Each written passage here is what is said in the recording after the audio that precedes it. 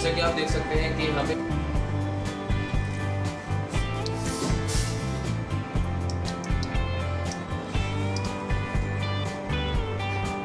इन्होंने smart wash basin नाम का एक प्रोजेक्ट बनाया है, जो कि इन्होंने जैसे कि आजकल चल भी रहा है मोदी जी की, हमारे प्रधानमंत्री जी की इच्छा है, स्वच्छ भारत हो।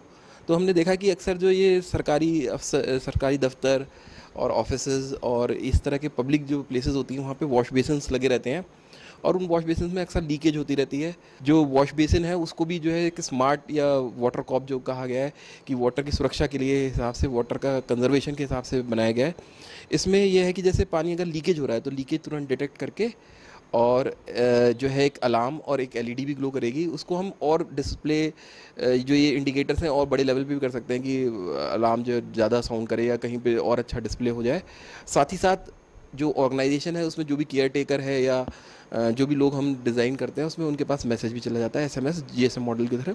हमने बनाया smart wash basin. Smart wash basin क्यों बनाया है? जैसा कि हम जानते हैं, पानी की कमी बहुत है इस टाइम भारत में। आपने कई जगह सुना होगा, बेंगलोर में कमी है, दिल्ली में कमी है। तो पानी को बचाने का समय इसी समय नज़दीक आ चुका है। अगर हम अभी नहीं करेंगे, कुछ तो बहुत देर हो जाएगी। तो हमने एक प्रोजेक्ट बनाया जिससे हम पानी को बचा सकते हैं। तो हमने पानी को बचाने के लिए क्या किया है कि पानी हम अक्सर यूज़ करते हैं वॉश बेसिन में तो वो ऐसी पानी चला जाता है, जबकि पानी को तीन तरीके से साफ़ करके दोबारा से यूज़ किया जा सकता है। तो हम दूसरे तरीके तक पहुँच चुके हैं जिसमें क्या होता है कि पानी को सॉफ्ट जो वॉश बेसिन से पानी आता है उसे हम बोलते हैं ग्रे वाटर ग्रे वाटर को हम रिसाइकिल करके रीयूज़ कर सकते हैं जहाँ पर हमने इस तर, इस वाले वॉश बेसिन में एक मेथड आजमाया है पुराना वाला मेथड जिसमें सैंड फ़िल्टर का यूज़ कर रहे हैं हम। सैंड फ़िल्टर के बाद इसमें क्लोरिनेशन होगा।